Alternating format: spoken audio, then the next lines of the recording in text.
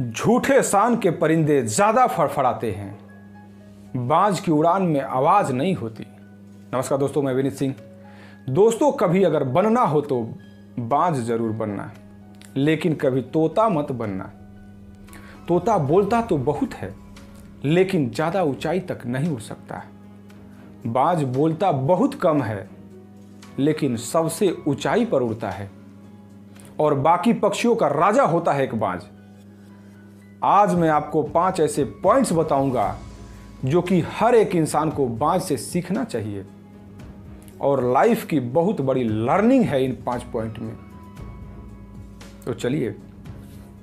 Number one बाज की तरह अकेला चलना सीखो। दोस्तों बाज अकेला उड़ता है और बाकी पक्षियों के मुकाबले सबसे ऊंचाई पर उड़ता है। बाज अकेला उड़ेगा लेकिन कभी भी चिड़िया और छोटी मोटी पक्षियों के साथ नहीं उड़ेगा। बाज हमेशा या तो बाज के साथ उड़ता है या फिर अकेला उड़ता है। इससे हमें यह सीख मिलती है कि छोटी सोच वालों से दूरी बनाकर रहें और अकेले रहो, क्योंकि यही वो समय है जब खुद को जानने का असली मौका मिलता है। नंबर दो, बाज की तरह अपने लक्ष्य पर फोकस करो, ध्यान दो। दोस्तों, बाज का विजन बहुत ज़्यादा क्लियर होता है और बहुत ज़्यादा स्ट्रोंग होता है। बाज अपने शिकार को पाँच किलोमीटर दूर से ही देख लेता है और जब एक बार उसे अपना लक्ष्य दिख जाता है तो फिर उसके बाद रास्ते में चाहे कितनी भी मुश्किलें क्यों ना आए। वो अपने लक्ष्य को हासिल करके ही दम लेता है। उससे भी एक बहुत बड़ी सीख हमें मिलती है कि अपना विजन क्लियर रखो और उसे हासिल करने में फिर चाहे कितनी भी मुश्किलें क्यों ना आए, पीछे मत हटो उस बाज की तरह। नंबर तीन, बाज कभी भी मरी हुई चीज़ों को नहीं खाता दोस्तों, बाज कभी भी मरे हुए जानवरों को नहीं खाता। वह हमेशा ज़िंदा शिकार करता है। और इससे हमें यह सीख मिलती है कि ये जो हमारा पार्ट्स है, वो मर चुका है। तो अपने उस मरे हुए थॉट्स पर ध्यान मत दो। अपने आने वाली ताज़ी फ्रेश ज़िंदगी में ध्यान लगाओ।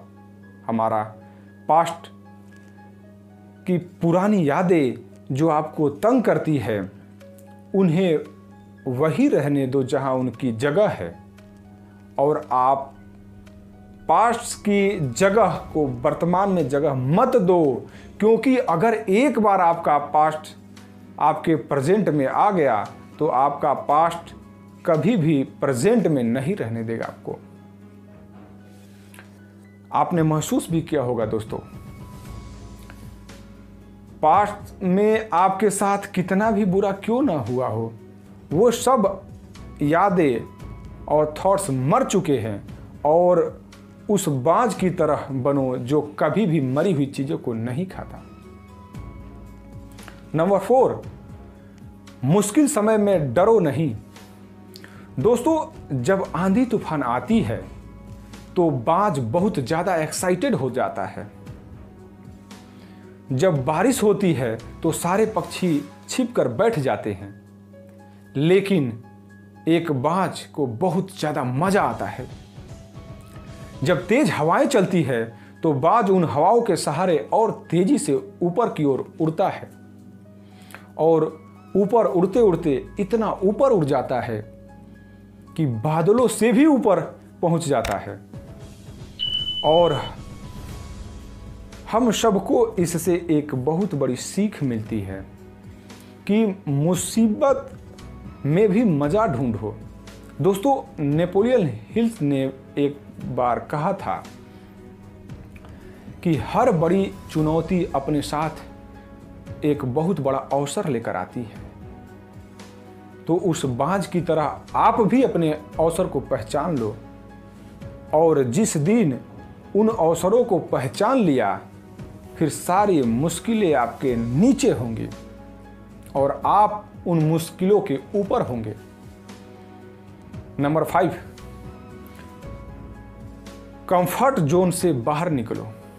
दोस्तों, बाज अपने घोंसले से सॉफ्ट घास को हमेशा निकाल कर फेंक देता है, ताकि बाज का जो बच्चा होता है, वो उसमें कंफर्टेबल ना हो सके। क्योंकि अगर वो घोंसले में कंफर्टेबल हो गया तो वह वही रहना ज़्यादा पसंद करेगा। लेकिन बाज ऐसा कभी होने नहीं देता। बाज एक पक्षी है और उसे भी एक बात पता है कि कंफर्ट जोन में कभी ग्रोथ नहीं होता, दोस्तों। लेकिन हम तो इंसान है ना। और इंसान होने के बावजूद कई सारे लोग इस बात को समझते ही नहीं हैं।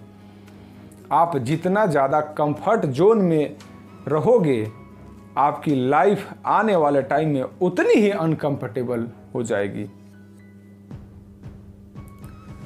दोस्तों, मुझे पूरी उम्मीद है कि मेरे द्वारा बताए गए बांझ के इन पाँच लेसन से आपको कुछ न कुछ ज़रूर सीखने को मिली होगा।